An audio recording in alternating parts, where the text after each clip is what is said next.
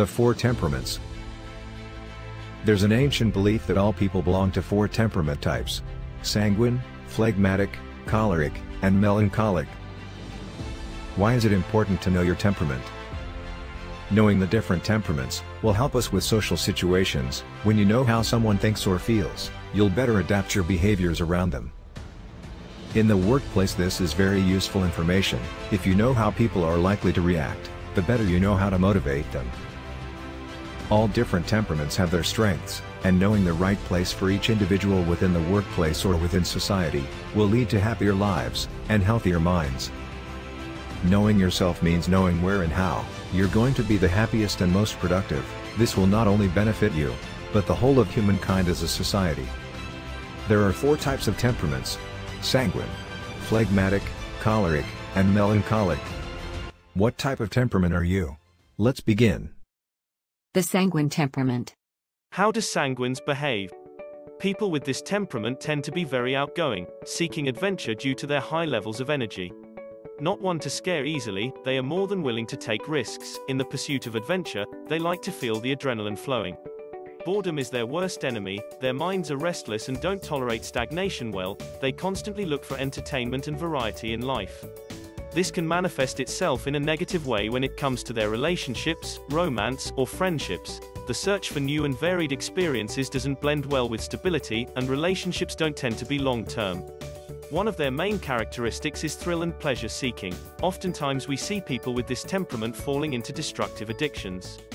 If you apply the same principle to food, it's clear to see that they can overindulge resulting in weight problems and health issues due to their high energy, their minds often wander from one idea to another, this creativity could render them a great artistic career. They love to entertain and thrive being the center of attention. Another aspect where they can become extremely successful is in the entertainment industry, as actors or musicians. Their natural disposition will be better utilized in society if they choose jobs related to marketing, travel, fashion, cooking, or sports. If you're liking the video, please leave a like and consider subscribing. Let's get going. The phlegmatic temperament.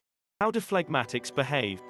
People with a phlegmatic temperament are normally focused on other people, as they see relationships as being more important than personal gratification.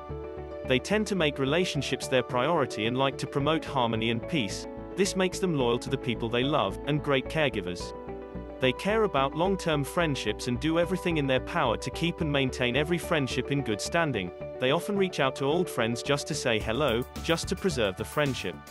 They dislike confrontation, and always look for the most diplomatic solution. They serve as advocates or mediators, with the purpose to solve conflicts and maintain peace between everyone.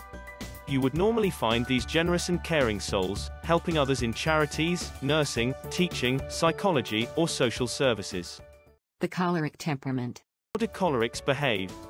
People with this temperament tend to put emotions aside in favor of getting things done. It doesn't mean they're incapable of emotions, but they are secondary and only come into play when the first function is satisfied. They are goal-oriented and live in a more analytical world where logic rules, and intelligence is a king. But what makes them so good in practicality and getting the job done, often leaves them lacking when it comes to romance. They are not the best partners and see friendships as a means to achieve a goal, not something they necessarily enjoy. Small talk can quickly become annoying if they are not interested in the subject. They prefer to talk about more meaningful subjects or things that are useful to get something closer to its completion. Being alone is preferred to being in the presence of someone they see as their intellectual inferior. This doesn't make them antisocial but they can only relate to people who see the world the same way they do. It's not because they're entitled or think they're superior, it's because they don't possess the capability of relating to superficial contents. Cholerics are better fitted in society in roles that involve management, technology, engineering, and business. The melancholic temperament. How do melancholics behave? The melancholic temperament is set in their ways and doesn't see change as something that is necessary.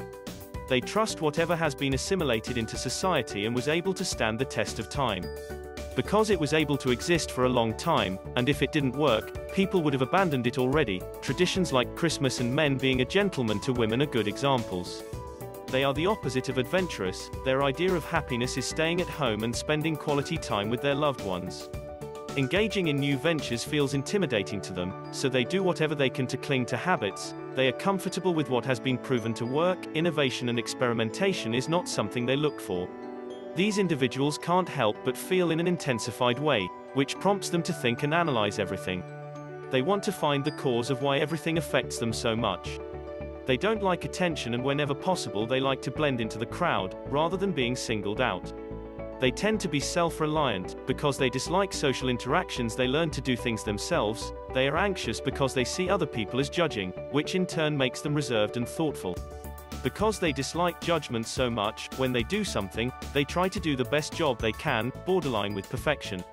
They are tidy and detail-oriented, all this to avoid having someone criticizing them.